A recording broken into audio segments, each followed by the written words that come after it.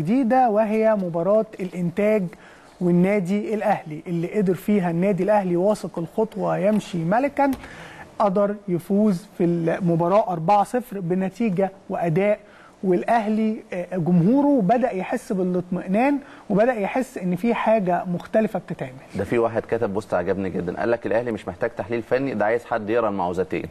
آه إحنا كلنا كان حتى رد فعلنا بعد المباراة إن إحنا إحنا خايفين نستغرق في الفرحة، الفرحة اللي بيشوبها الحذر شيء مهم جدا خصوصا لما نبص على الأرقام يا أحمد نستعرض الأرقام. تسع ركنيات للنادي الأهلي مقابل ثلاثة للإنتاج، الاستحواذ كان 57% مقابل 43 للإنتاج، حابب أقف عند نسبة التمرير. عدد التمريرات 573 رقم كبير جدا في كرة القدم بيدل إن أنت قد إيه بتدور الكرة على الأرض.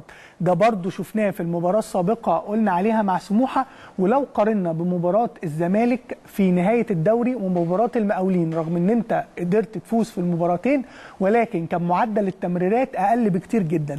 لما يبقى معدل التمريرات الكبير ده دقة التمريرات 87% 25 عرضية مقابل 15 محاولات على المرمى 18 مقابل 8 ست محاولات بين القائمين والعارضة. دي أرقام يا أحمد بتاعه فريق مستحوذ. الغريبه إن كابتن مختار بعد المباراة كان بيتكلم إن الأفضلية كانت في الشوط الأول اللي الاهلي أكتر كمان.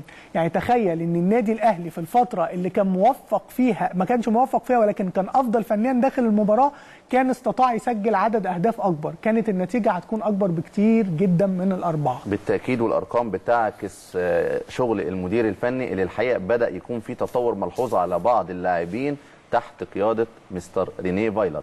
وأهمهم الكابتن رمضان صبحي في تحركاته والتاني مباراة على التوالي في الدوري المصري كابتن رمضان صبحي بيسجل هدفه الثاني مباراة افتتح بيها الموسم هدف وكمان مباراة الإنتاج الحربي هدف وتحركات رمضان صبحي يا فارس أعتقد اختلفت تماما وبقى بيقطع وبيدخل على المرمى. وكمان قلنا رمضان ينفرد يبقى لازم فينش عالمي ولازم يسجل. تطور ملحوظ ولكن هنتمنى إن هو يستمر على المدى البعيد زي ما كمان تطور حسين الشحات مستمر معانا. حسين الشحات آخر 8 مباريات يا أحمد بيشارك خلاص. في 14 هدف. إن شاء الله محتاج أكتر برضو بطولات بركات ومقارنة بركات ولكن أنت على بداية طريق بركات الصحراوي. بس ده أنت جايب له رقم مرعب رقم رقم رقم. لازم نقف عنده. مشارك في 14 هدف سجل 8 وصنع 6 في آخر 590 دقيقة.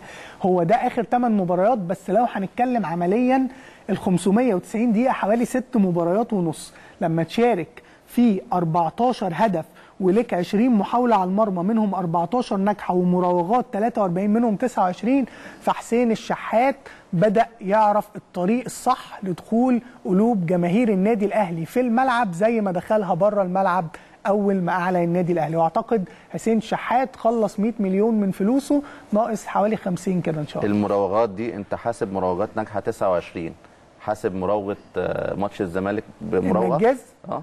لا. أصل حسين حاسبها باثنين إن- حسين باتنين خلاص آه ماسكها علينا يعني خلاص بيجي يقابلنا دلوقتي يتكلم على الجون الثاني اللي هو جابه في في الزمالك هي حسين الشحات لقطة كانت رائعة. أتمنى إن حسين الشحات يبدأ آه، يستغل ده.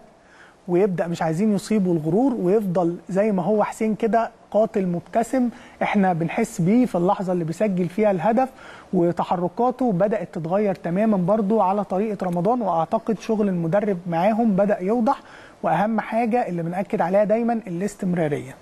أنا بس عايز أأكد على حسين إن أحمد أسامة من أكتر من سنتين ثلاثة وأول من قال ضموا حسين الشحات للنادي الأهلي. هو عارف كده كويس خلاص خلصنا مباراة الإنتاج لكن عندنا فقرة جديدة إن شاء الله هنبدأ بقى بيها. بما إن الأخطاء التحكيمية زادت هنسمي الفقرة في الصندوق. هيبقى معانا صندوق كده بعداد نقعد نحسب عليه هنحوش. الأخطاء التحكيمية ونتمنى يعني تكون الأخطاء التحكيمية مش محتاجة صندوق كبير يعني لأن إحنا عاملين حسابنا في صندوق كده للدور الأول. فلما نيجي نستعرض مباراة الأول مباراتين اللي تموا سواء الأهلي مع الإنتاج الحربي أو الزمالك مع المقصه المقصه ما زال بيتم عقابه أمام الزمالك. وكمان ما